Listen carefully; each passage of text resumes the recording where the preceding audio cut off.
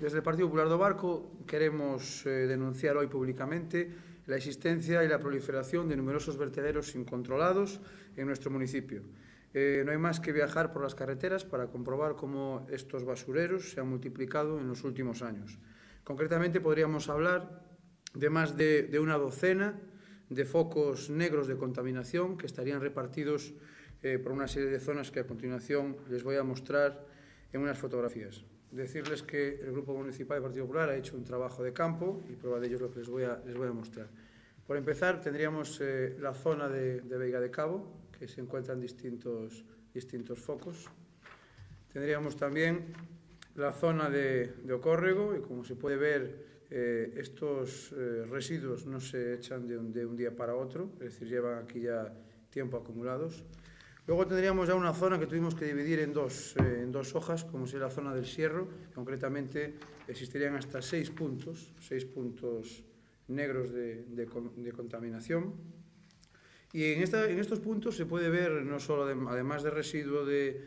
construcción, también se puede ver pues, estas sofás, mantas y todo tipo de basuras, somieres, bidones. Es decir, son, tienen eh, son muy variados. También tenemos luego otra zona que denominamos nosotros la zona por la parte de atrás del tanatorio nuevo, que también encontramos aquí cuatro, cuatro focos importantes. Luego, eh, mm, a la zona del polígono industrial de Arraña, que aquí además de... Bueno, aquí también habría numerosos vertidos, pero sí que en estas fotos lo que tratamos es un poco de reflejar que además de lo habitual de los residuos que pueden ser de construcción, encontramos también pues defensas de, de vehículos, numerosas defensas de vehículos, eh, incluso hasta había máquinas eh, fotocopiadoras, ordenadores, eh, maletas y basura, y basura, como les digo, en general. Tendríamos también luego otra zona, que sería la zona de Biloval, en la que también encontramos numerosos restos, Y ya saltando hacia el otro lado, en la zona de Millaroso también encontramos distintos, distintos focos de suciedad. En la carretera, en la carretera hacia Domiz, también, como le digo, y sobre todo de muy, variada, muy variados residuos. También hacia la carretera de Castro Vilariño, también encontramos este tipo de residuos y todo tipo de, de restos Y ya aquí más cerca del municipio tenemos que en el fondo del Parque de las Casas Baratas, eh, contra el río Sil, también hay eh, basura sedimentada, que lleva tiempo por lo que se puede ver además en las fotografías, y también en la zona del matadero, en la zona del matadero municipal, donde estaba el antiguo matadero municipal, también podemos encontrar todo tipo de residuos. Esto lo que pone de manifiesto es que se ha hecho en esta materia eh, un abandono e unha dejadez absoluta por parte del Concello y, de, y del Concelleiro, en este caso de Medio Ambiente, y que desde luego nosotros decimos que es muy triste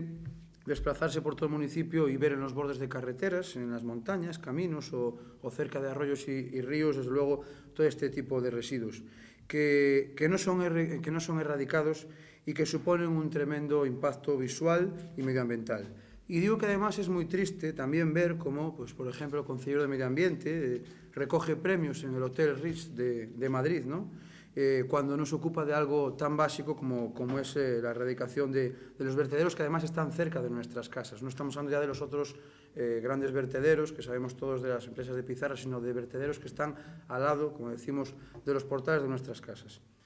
Eh, y está muy bien eh, que nos concedan banderas verdes y jornadas sobre el desarrollo sostenible, pero yo creo que deberíamos empezar por ocuparnos de temas eh, tan básicos como, como el que hoy queremos poner nosotros de manifiesto.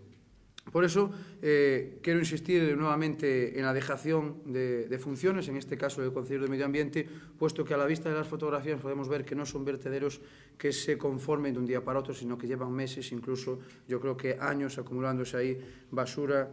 y basura. Es necesario recordar también que en el debate de presupuestos del año 2007 no se contemplaba ninguna partida específica para este fin y que después de que lo solicitó el Partido Popular en aquel debate, en los presupuestos del 2008 figuró una partida con 6.000 euros, concretamente la 442 22.617, que además la denominación era recuperación de vertedoiros. Tengo que decirles que tristemente, tristemente y confirma la denuncia que hoy hacemos públicamente que vuelvo a insistir en la dejadez y en mirar para otro lado, a fecha de 15 de octubre esta partida tiene un estado de ejecución del 0%. Es decir, a falta de dos meses prácticamente de terminar el año, de esos 6.000 euros no se invirtió ni un solo euro en ocuparse, en recuperar los vertederos incontrolados e ilegales que tenemos en el municipio. También quiero recordar unas declaraciones públicas del señor alcalde en septiembre de 2007 que decía que el Concello tendrá tolerancia cero con los vertidos incontrolados, pues creo que, no sé si se refería a tolerancia cero o tolerancia docena, vamos a decir, porque desde luego faltó a su palabra o muy pronto se le olvidó esa afirmación que hizo ante los medios y de cara a la galería. Eh, desde luego, ante esta situación, desde el Partido Popular le queremos pedir al alcalde y al Consejo de Medio Ambiente que pongan en marcha políticas activas de identificación, clausura y restauración ambiental de los vertederos incontrolados e ilegales es inevitable seguir insistiendo en la necesidad de llevar a cabo campañas de concienciación con los escolares y a través de los medios de comunicación con el público en general, con el fin de que se respeten los lugares destinados a depositar la basura y el resto de residuos. Por eso, quiero anunciarles que el Grupo Municipal del Partido Popular presentará una moción para su debate en el próximo pleno en el que eh, va a pedir tres cosas muy claras y muy sencillas. Primero, que se elabore un censo de vertederos incontrolados existentes en todo el municipio. En segundo, que se elabore un plan de limpieza estableciendo las prioridades que sean necesarias. Y tercero, que se lleve a cabo una campaña de sensibilización, empezando por los escolares y por el penal, y que desde luego se adopten las medidas sancionadoras y correctoras que la propia normativa vigente nos permite.